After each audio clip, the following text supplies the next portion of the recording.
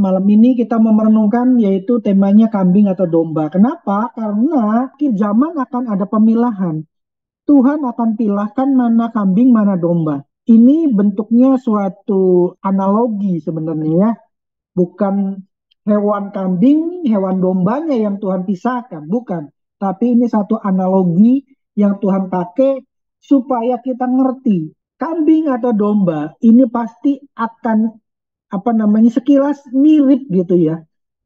Sekilas mirip, tetapi Tuhan jelas minta agar kita tuh jadi domba. Makanya kita disebut domba-dombanya Tuhan, bukan kambing-kambingnya Tuhan, ya kan? Kenapa? Nah, yuk mari kita uh, renungkan bersama-sama. Ada beberapa video klip yang singkat yang mau saya tampilkan nanti di sini. Matius 25 ayat 32 dengan jelas berkata, lalu semua bangsa akan dikumpulkan di hadapannya, dan ia akan memisahkan mereka seorang daripada seorang. Sama seperti gembala memisahkan domba dari kambing. Makanya tadi saya katakan, kata domba dan kambing ini hanya sebagai analogi, bukan secara fisik hewannya. Nah, pertanyaannya begini, kenapa Tuhan tidak suka kambing bercampur dengan domba? Pasti ada sebabnya, ya kan? Pasti ada sebabnya. Kenapa seperti itu? Nah, eh, karena Tuhan mau ada pemisahan yang jelas antara orang-orang benar tipikal domba dengan kambing. Karena kambing dan domba itu tidak mungkin bisa bersatu. Walaupun kelihatannya mirip ya. Nanti akan kita uh, ketahui kenapa kambing dan domba itu nggak bisa bersatu. Istilahnya nggak bisa dikawin campurkan. Nah, kambing dan domba itu adalah analogi bahwa Tuhan itu punya kehendak, punya isi hati untuk kita orang percaya itu seperti pemisahan terang dan gelap. Terang dan gelap tidak mungkin bisa bersama-sama. Di mana kalau ruangan gelap, tahu-tahu ada nyala, ada lampu, atau ada sinar, pasti kegelapan itu akan hilang. Tidak mungkin ada setengah-setengah. Ya kan? Kenapa? Karena terang dan gelap tidak mungkin bisa bersama-sama. 2 Korintus 6 ayat 14 bagian B berkata sebab persamaan apakah terdapat antara kebenaran dan kedurhakaan atau bagaimanakah terang dapat bersatu dengan gelap. Jadi firman Tuhan sudah jelas katakan tidak mungkin terang dan gelap bersatu. Tidak mungkin kambing dan domba bersatu. Kenapa? Kambing dan domba tidak mungkin bisa kawin campur. Kalau dipaksakan itu anaknya akan cacat. Kenapa? Karena kambing itu memiliki 60 buah kromosom ternyata Bapak Ibu. Sedangkan domba memiliki 54 kromosom. Nah ini ketetapan Tuhan. Tuhan carinya domba, bukan kambing. Makanya anak Tuhan disebutnya domba-dombanya Tuhan. Bukan kambing-kambingnya Tuhan. Kenapa Tuhan pakai analogi domba, bukan kambing? Kenapa Tuhan pakainya milihnya domba bukan kambing. Kita sama-sama renungkan. Ciri-cirinya domba itu, biarlah ini menjadi ciri-ciri, menjadi indikator buat kita. ya. Yang pertama domba itu perlu dicukur agar tidak mati. Wah kayaknya kesannya gimana gitu ya. Nah domba itu memiliki bulu yang keriting. Kalau kambing itu bulunya lurus-lurus. Domba itu keriting dan apa ya boleh dibilang ikal gitu kan. Nah, biasanya dicukur jika sudah lebat. Domba dicukur tujuannya apa? Agar tidak kepanasan dan tidak keberatan.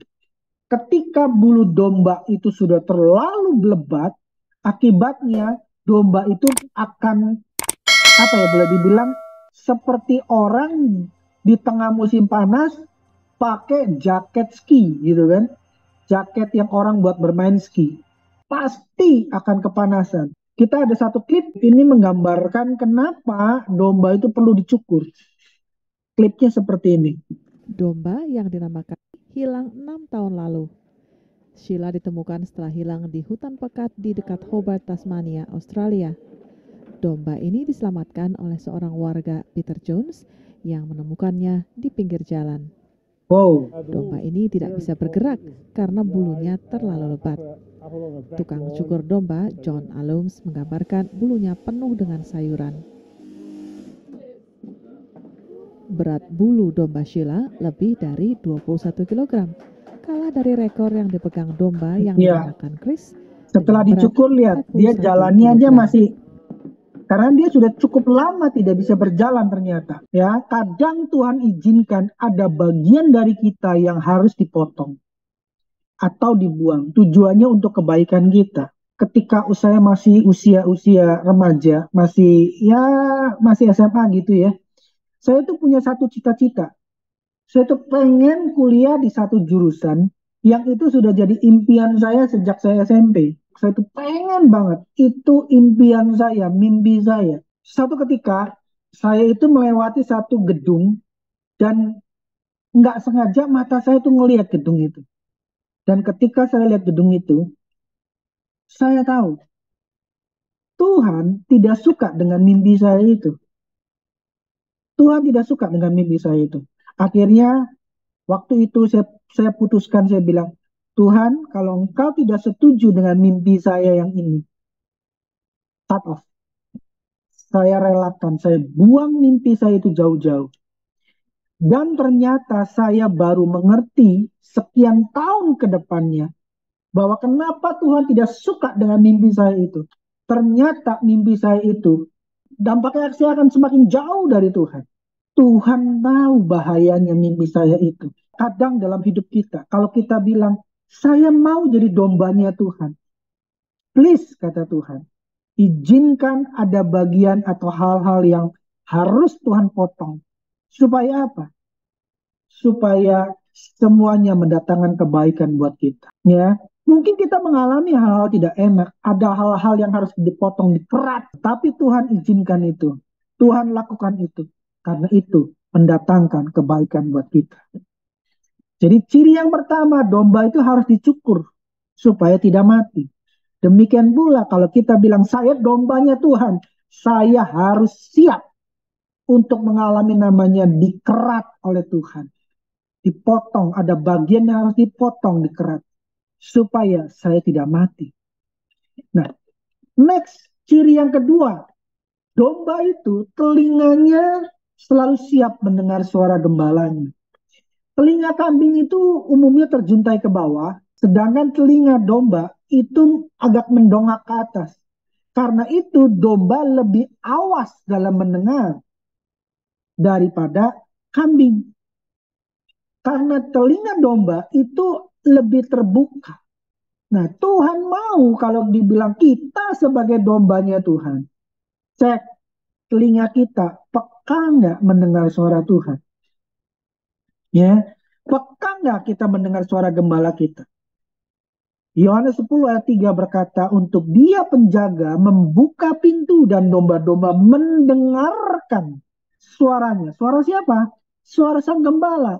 Dan ia memanggil domba-dombanya masing-masing menurut namanya dan menuntunnya keluar.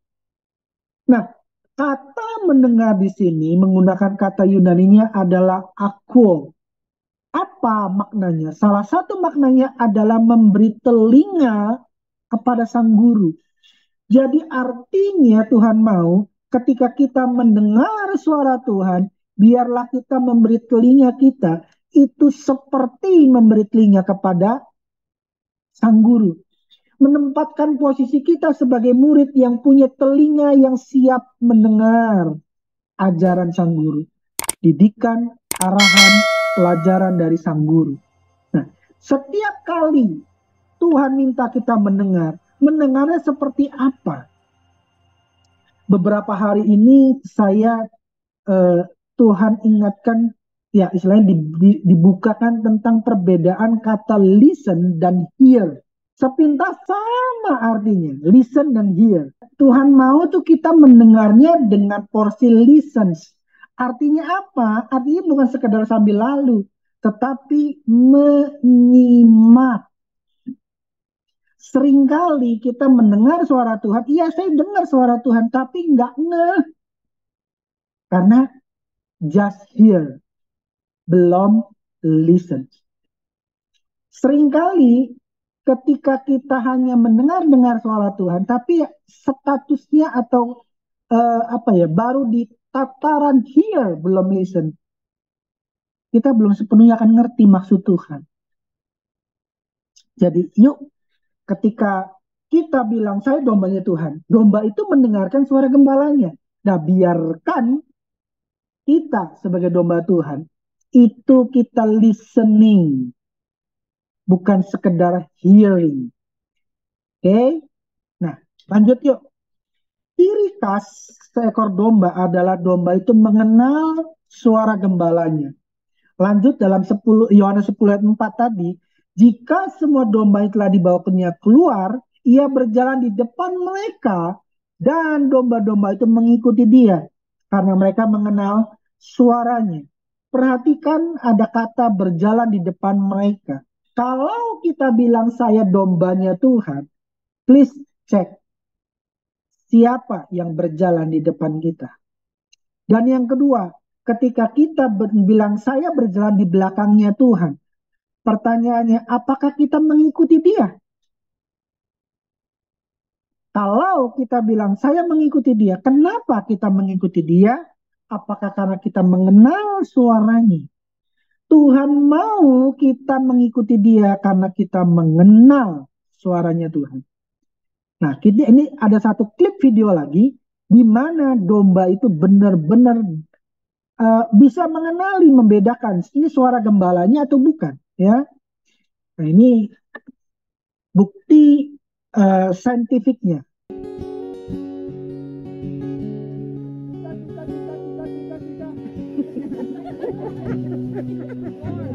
more time.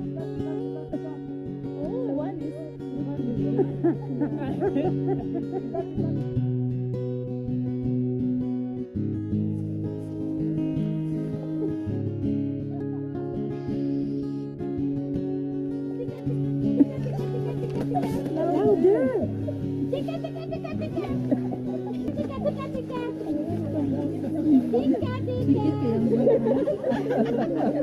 you. Nah ini ya si gembalanya nih asli.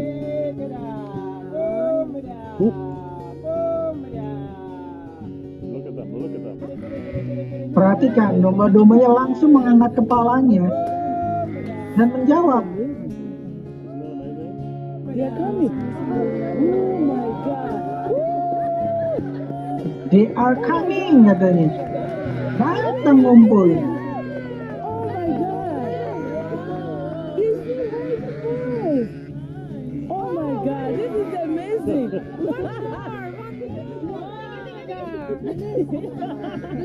Jadi domba-domba itu tahu mana gembala asli, mana palsu. Ya. Dan perhatikan semua domba jalan di belakang. Nah, kalau dibilang kita dombanya Tuhan, cek, yuk kita cek. Kita seperti itu enggak? Oke. Okay? Nah, apa sifat yang ketiga? Ciri yang ketiga dari domba. Domba itu tidak sembarangan makan. Kalau kambing cenderung makan segala macam. Kalau bahkan kambing bisa mencari makan di tempat sampah. Kalau domba nggak bisa. E, beberapa tahun yang lalu ketika saya itu ada di Gunung Sinai, ya di Gunung Sinai, Mesir, itu saya melihat uh, ada kambing bisa makan kardus, kardus Indomie gitu kan. Saya bilang, wih, nggak nggak nggak sakit apa itu kambing ya? Saya tanya sama uh, pengembalanya. Saya bilang, kamu kasih makan kambing-kambingnya pakai kardus? Dan dia bilang, iya. Eh, kambing-kambingnya nggak sakit? Enggak, dia bilang. Udah terbiasa dari kecil katanya dikasih makan kardus. Coba domba suruh makan kardus, pasti sakit pencet mungkin ya, bahkan mati. Kambing itu bisa segala macam dia makan. Domba tidak. Nah ini yang Tuhan perintahkan. Roma 12 ayat yang kedua. Janganlah kamu menjadi serupa dengan dunia ini. Artinya, kalau sekitar kita dunia makan tanda kutip hal-hal A, B, C, D. Sedangkan Tuhan bilang, no, itu bukan makananmu. Jangan pernah kita makan itu. Ya, jadi mari. Kalau kita adalah dombanya Tuhan, please kita tidak makan makanan yang sama dengan dunia. Ini bicara apa? Kita tidak serupa dengan dunia. Kita tidak dicetak dengan platformnya dunia, dengan uh, etikanya dunia, dengan uh, apa namanya cara hidupnya, dengan kehidupannya, dengan keglamoran, hedonisme segala macam. Kita tidak mengikuti itu. Ya, itu ciri yang ketiga. Nah, yang keempat, domba itu percaya sama gembalanya. Yohanes 10 ayat 4 ini berkata apa? Ketika ia domba eh, gembala itu berjalan di depan mereka, hmm, domba-domba itu mengikuti dia. Kenapa? Karena mereka mengenal suaranya. Pertanyaannya, yes, domba itu mendengar, mengenal suara gembalanya. Tapi kenapa domba-domba itu ngikut di belakang gembala? Karena domba-dombanya percaya pada sang gembala. Perhatikan ada satu klip lagi yang mau kita saksikan. Ini menggambarkan bagaimana domba itu percaya banget sama sang gembala. Perhatikan itu jalan yang dilaluinya seperti apa ya. Tetapi domba-dombanya ngikut itu yang luar biasa.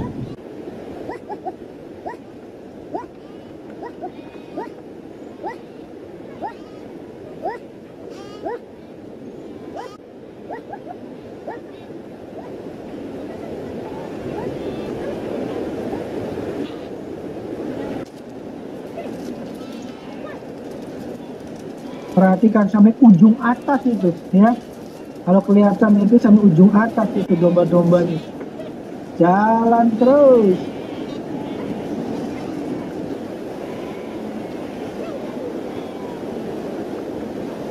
Ini ini bukan film Sound the Ship ya tapi ini kenyataan gitu kan? Oke dari sini kita lihat apa? Domba-domba kenapa mau ngikutin sang gembala? Jembatannya udah aduh gimana gitu kan? Kalau kita mungkin kita mikir aduh bener nggak ya? Aduh maju nggak ya? Aduh jalan nggak ya domba nggak pakai mikir. Ketika suara gembalanya itu ada di depannya dia ngikut aja di belakang. Kenapa? Karena domba-domba itu percaya sama gembalanya. Jadi yuk mari kita cek kalau kita bilang saya dombanya Tuhan. Apakah ketika Tuhan uh, izinkan peristiwa yang tidak enak kita alami, apakah kita masih percaya Tuhan? Apakah kita masih tetap tidak bersungut-sungut dan kita mulai ngomel, kita bilang Tuhan, Tuhan gak adil, Tuhan begini, mengono segala macam. Masihkah kita tetap bisa mempercayai Tuhan sebagai sang gembala kita? Ya, Mungkin perjalanan yang kita lalui itu nggak enak. Tapi kalau kita tahu ada gembala kita di depan yang memimpin kita, apakah kita bisa percaya atau tidak? Kalau kita bilang saya dombanya Tuhan, biarlah kita tetap bisa percaya kepada Tuhan. Sekalipun perjalanan yang kita jalanin itu tidak mengenakan buat kita. Ya, kita renungkan. Kalau kita dombanya Tuhan, yang pertama, renungkan ini, kenalkah kita dengan suaranya? Jangan sampai ketika dia bicara malah kita bilang itu bukan suara Tuhan. Ya. Oh itu suara hantu. Itu bukan suara Tuhan. Perhatikan begini, kenal dan tahu itu beda. Kalau kenal membutuhkan waktu untuk berinteraksi kedua belah pihak ada unsur learn pembelajaran, bukan study. Setiap kali hubungan kita dengan Tuhan, kita bukan bukan lagi study, tapi kita sedang learn terhadap Tuhan. Kenapa? Kalau study itu hanya di tataran pengetahuan kita, tapi learn itu ada dalam tataran eh, pengalaman hidup. Kita hidup berjalan bersama Tuhan. Kita akan kenal suara Tuhan itu dalam keseharian kita. Lewat agama kita tahu tentang Tuhan, tapi lewat hubungan kita akan kenal Tuhan. Ini highlight benang merahnya. Bahwa lewat agama kita hanya sekedar tahu tentang Tuhan. Ya. Apa namanya? Kita mungkin hafal ayat-ayat dalam Alkitab kita. Mungkin ngelotok bahkan sampai dibilang ini ensiklopedia Alkitab berjalan. Tetapi apakah kita hanya sekedar tahu tentang Tuhan, tapi kita tidak kenal Tuhan secara pribadi? Hati-hati. Jika Tuhan gembala kita, maka sejelek apa pun keadaan yang kita alami, pasti kita domba-dombanya akan tetap aman. Kenapa? Daud berkata, gadamu dan tongkatmu itulah yang memelihara aku, yang menjaga aku. Jadi yuk malam ini, biar ini menjadi perenungan kita, sudahkah kita menjadi domba-dombanya Tuhan? Tuhan minta kita menjadi domba, tidak menjadi kambing. Ada pemisahan antara kambing dan domba. Roma 8 ayat 28 sebagai ayat penutup, kita tahu sekarang bahwa Allah turut bekerja dalam segala sesuatu untuk mendatangkan kebaikan bagi yang mereka mengasihi Dia. Nah, kata kebaikan di sini, kata Yunaninya adalah agatos. Apa artinya? Hal itu berguna buat kita. Jadi, kalau kita dombanya Tuhan, pastikan, pastikan kita menikmati setiap kebaikan, setiap hal-hal yang berguna yang Tuhan izinkan kita alami. Sekalipun lewat perkara yang tidak mengenakan. Amin. Ya. Saya akan tutup dengan berlayar jauh sampai ke Sumba sambil menjual buah pala. Pastikan kita Tuhan punya domba. Nikmati berkat dari Sang Gembala. Tuhan Yesus memberkati. Saya kembalikan ke Ibu host